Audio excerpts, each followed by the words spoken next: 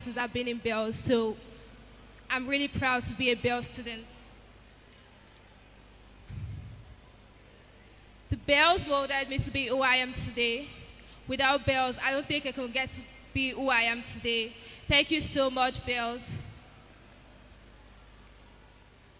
When I first came to this Bells Secondary School, I had my interview with Ms. Olufolabi, that's the principal now.